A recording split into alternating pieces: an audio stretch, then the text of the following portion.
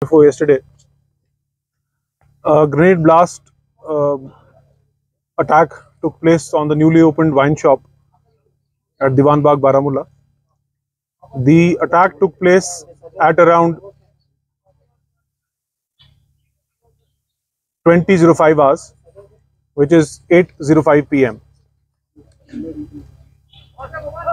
As soon as the grenade blast took place, uh, teams from the security forces, uh, including Army's 46 RR and Baramulla police, reached the spot and, as the first response, evacuated the injured from the site. Unfortunately, one of the injured succumbed to his injuries, and the other injured, as of now, are all stable.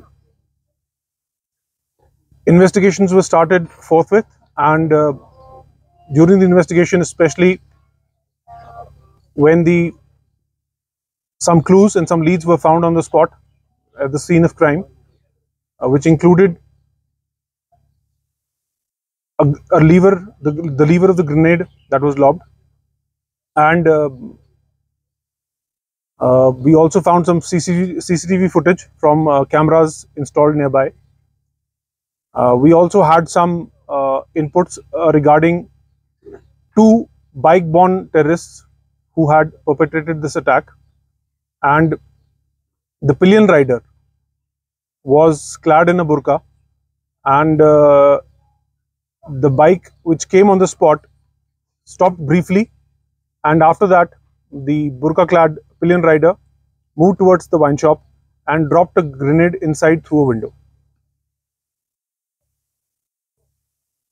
The spot, and uh, after painstaking investigations and analysis of various evidences that we found on the spot, uh,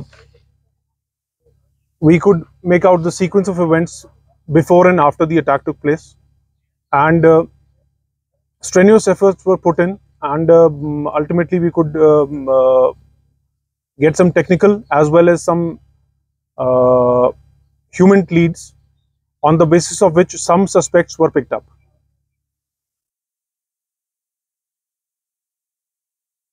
As the suspects were picked up and the, uh, the interrogation and the questioning started, uh, we got some more leads on the basis of which further investigation took place and uh, ultimately we could make out that the group of Lashkar-e-Toiba terrorists had perpetrated the attack and uh, a total team of four terrorists of the so-called Falcon Squad of the Lashkar-e-Toiba that is now self-styled as TRF was involved in the attack.